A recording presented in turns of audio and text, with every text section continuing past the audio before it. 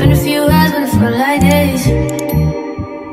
Only been days, but it felt like months.